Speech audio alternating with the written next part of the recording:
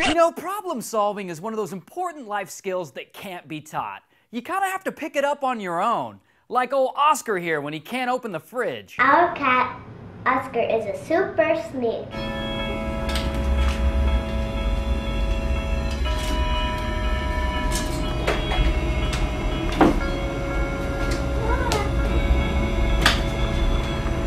Oh, cats. You know, today they're getting fish sticks out of the fridge. Tomorrow they'll be, oh, I don't know, butt all of us when they enslave humanity.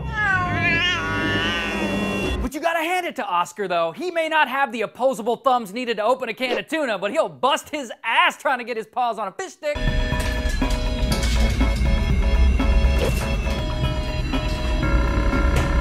And I'm curious, what part of the fish is the actual stick part?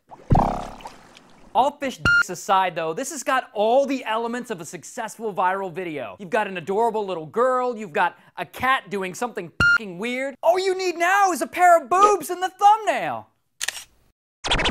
And then there are some people who use anger as a motivation to solve their problems. Like in this next video, which happens to be a news segment from Greece. So you can't see it here, but off camera, there are a dozen angry protesters who have broken into the studio and they're now getting ready to strike.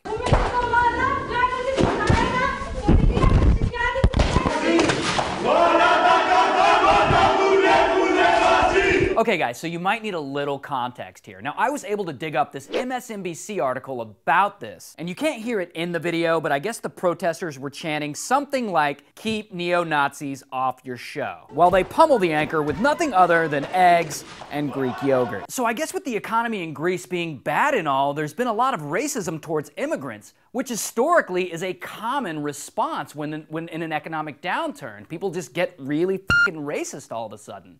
But just because it's common doesn't mean that it's okay. You know, I hope that the euro at least kissed Greece on the mouth after it was done f***ing its financial system. And really, guys, are throwing eggs and yogurt at a news anchor the best way to fight neo Nazis? I mean, because really all you're doing is making it look like a skeet grenade went off in the studio. And how dare these people waste Greek yogurt? Greek yogurt is badass. It's tasty, it's high in protein, you can use it in a lot of different foods, plus it's creamy as Okay, I'm sure I'm not the only one in the world who's ever had this problem. Have any of you guys ever had neighbors or roommates who have really, really loud, like, earth shattering sex in the next room. I mean, you really don't want to listen to it, but you also kind of do. So, anyway, this guy, 95 Camry for life, great username, he's going through this. Now, he has found the perfect solution called the Thin Wall Challenge, and I'll let him explain it. My name is Ryan, and that sound you're hearing is my neighbors back there doing it. And they're doing it hard. And they don't do it a few times a week. Luckily, it only lasts a couple minutes. So I've decided to set up a series of challenges to see who lasts longer, me or him. So you got that? So this guy's playing a game where he needs to complete a challenge in the amount of time it takes his neighbors to stop. So I guess you could call this a concept YouTube channel, which I think is great, because when life gives you lemons, you make lemonade. Or in this guy's case, wall s'mores? You gotta get all eight of these in order to win the challenge. Three. Last long little fella. Eight.